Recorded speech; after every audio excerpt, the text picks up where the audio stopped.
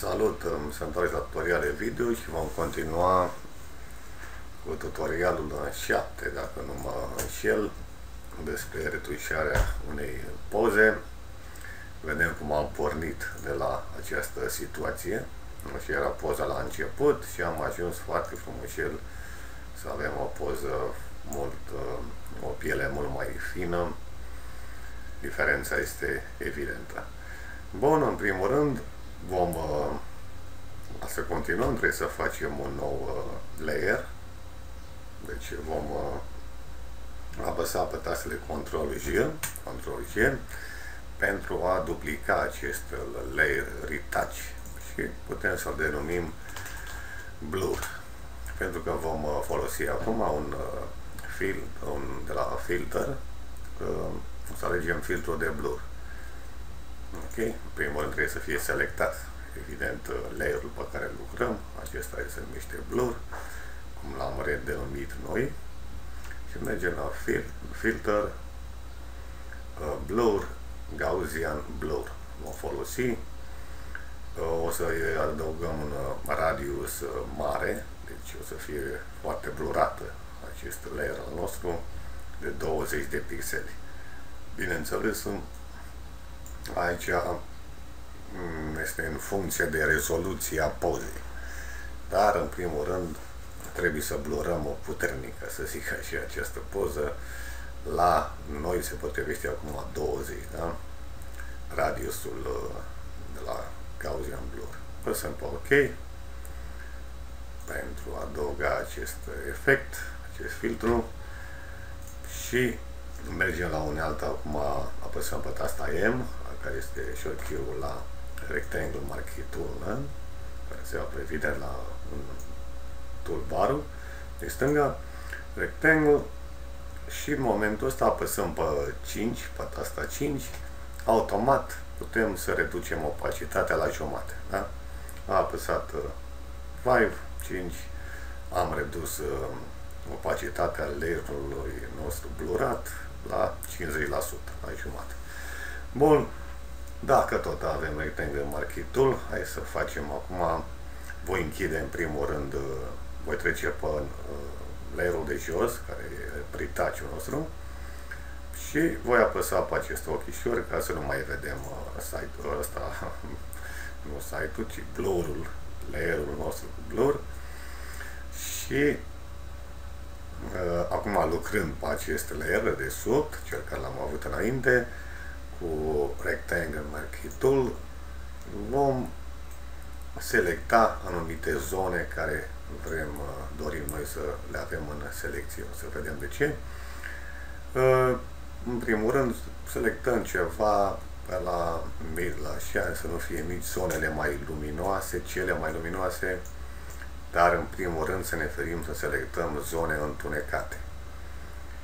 Selectăm și de la bărbie ceva, Bun, deci avem aceste trei selecții. Eu am ținut pe tasta Shift apăsat pentru a adăuga în selecție. Bun, acum mergem la Select și Similar. Similar ce face? Selectează totul ce este similar cu culoarea care se aflat uh, în selecția noastră care am făcut-o cu Rectangle Marquee Bun, acum mergem la una dată de selecție la subtul și vrem să adăugăm repejor în selecție anumite zone. Ținem iarăși Shift-ul apăsat și cu la subtul adăugăm această zonă. Bun, ce mai vreau partea dreaptă, da, obrazului. Ok, iarăși Shift-ul apăsat adaug în selecție și această zonă, această sprânceană, hai să o adaug și pe ea în selecție, această zonă, iară, da, mereu țin shift apăsat și cu lasul adaug în selecție. Nimic mai simplu.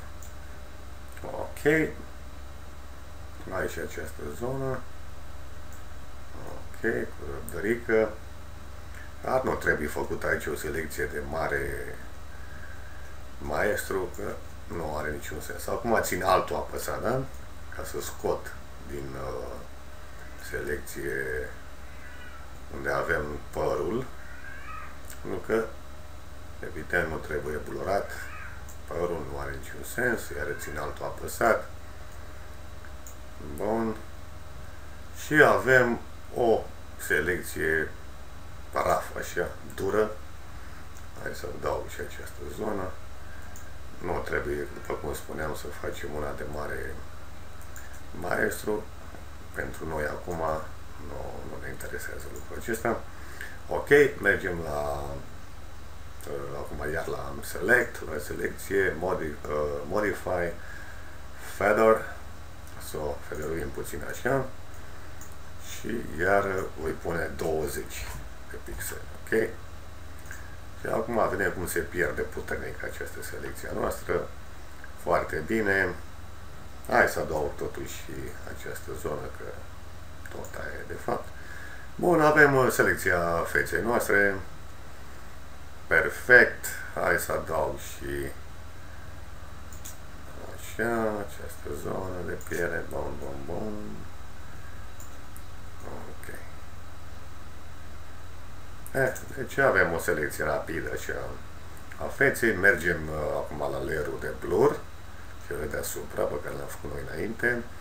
Îi dăm să se vadă pe acest uh, ochișor și îi adăugăm o mască deasupra acestui layer. Da? Mergem în partea dreaptă jos și avem această icoană care creează masca. Bun. Și acum vedem în zona unde a fost aplicată cum se vede blurul, unde nu, nu se vede. Bun, mergem la brush, apăsăm pe B, B și cu selectat, să avem selectat negrul ca foreground și albul uh, ca background.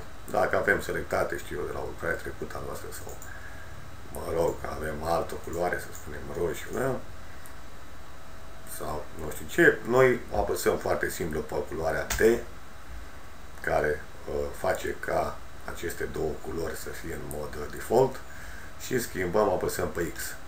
Apăsăm pe X, foarte simplu, acum avem foreground-ul negru și pictăm unde nu vrem să apară acel blur. Adică ascundem din mască. Asta face negru, ascunde, albul reveal, descoperă masca. Evident, nu avem nevoie în zona gurii de acest uh, blur. Perfect, nici pe dinți, evident. Foarte bine. Poate avem opacitatea prea mică, hai să o creștem la 100% în zona aceasta. Ne asigurăm că avem un uh, brush uh, lejer cu hardness-ul 0. Ok, hai, scăpăm mult mai repejor acum cu 100% de acest blur. Perfect. Ochii se strălucească cât mai bine. Dacă greșim ceva, e mai simplu, apăsăm pe X și adăugăm blurul acum, da? arată acum masca, adăugăm zonele care vrem să fie blurate, având foreground-ul alb. Eu zic că e bine, trecem iară pe negru, să ascundem blurul, da? se vadă sprâncenele, foarte frumos, ok. Scădem acum opacitatea pe la 50%.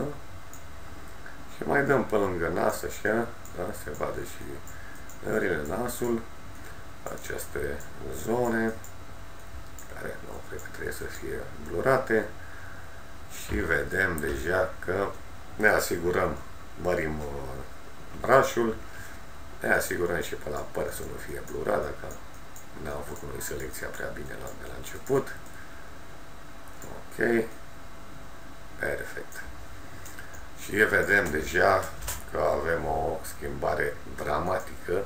Ținem altul apăsat pe acest layer, pe background, ca să vedem ce am avut. Deci este selectat, se vede doar layerul de background, adică poza de început a noastră și iar altul apăsat pe el și vedem că e o schimbare dramatică în bine, dacă pot să spun așa ceva.